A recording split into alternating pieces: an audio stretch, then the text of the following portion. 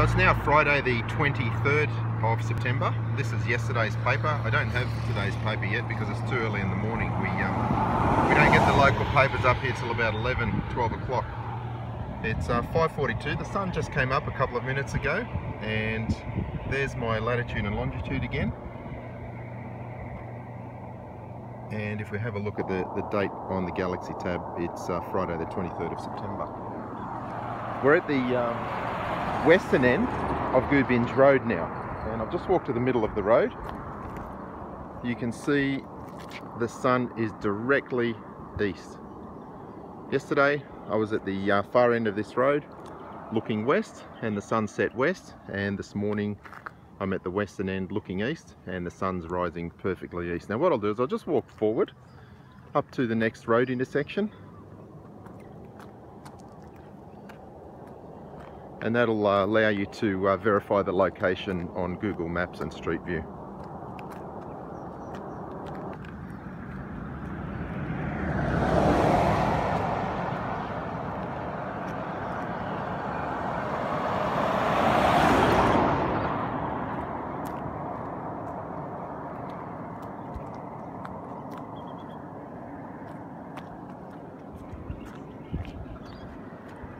Even my shadow, it just goes straight down the middle of the road there.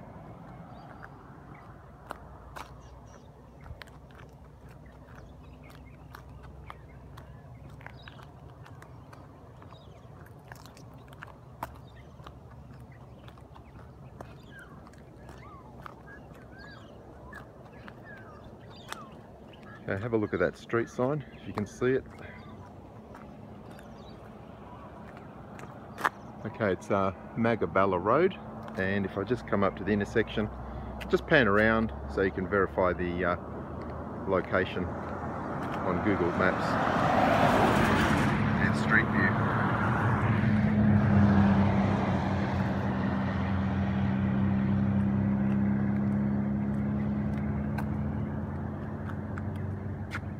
There's our sunrise, due east, close to the equinox which is actually completely impossible on a flat earth. The sun could not be rising in the east at this location.